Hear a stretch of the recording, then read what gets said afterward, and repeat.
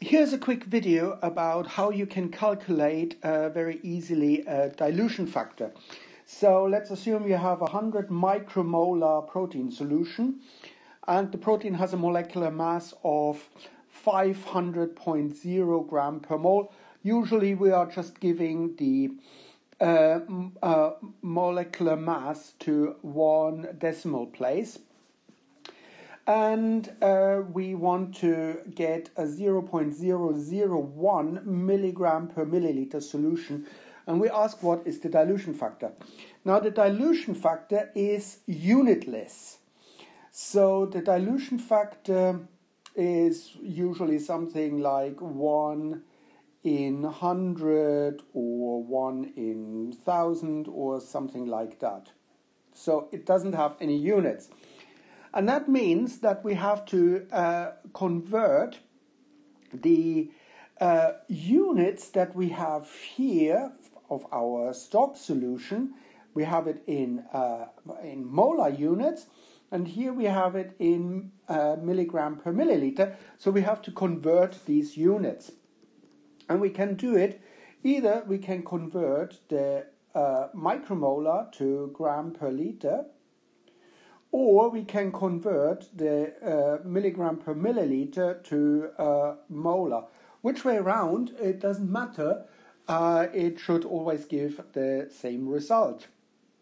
So uh, let's just simply uh, convert. Uh, let's start with this one here. We convert that to gram per liter.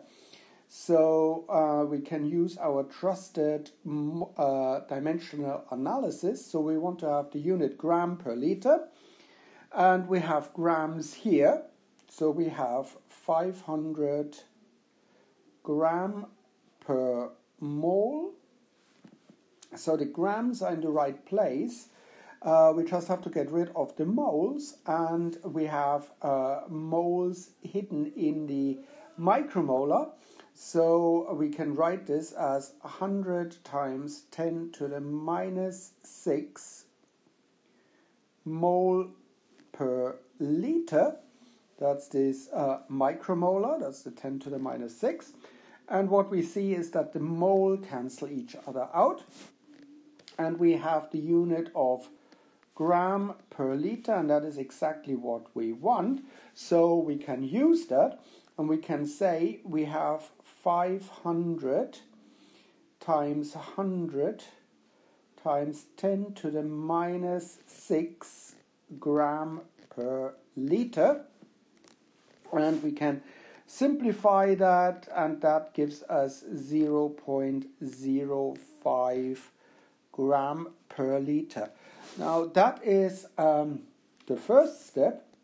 Now, in order to find the dilution factor, uh, what we do is we uh, convert this one here into something useful and we have 0.001 milligram per milliliter uh, which we can also write as 0.001 times 10 to the minus 3 gram per 1 times 10 to the minus 3 liter. That's uh, each of them is the milli.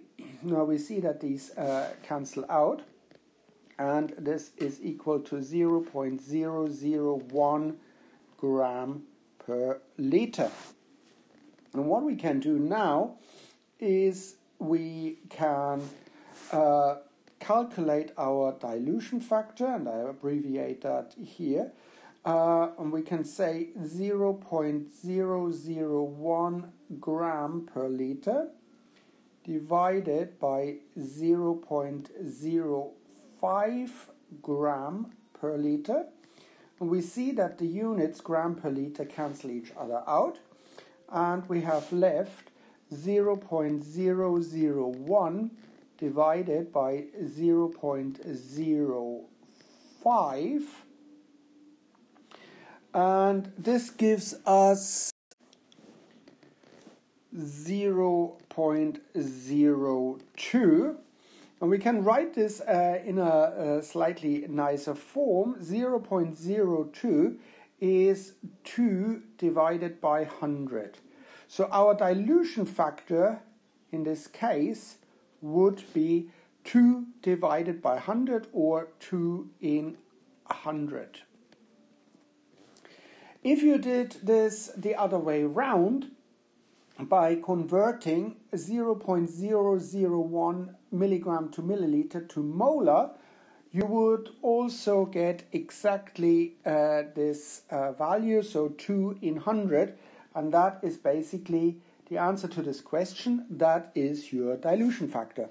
So I hope this makes sense, and thank you very much for watching.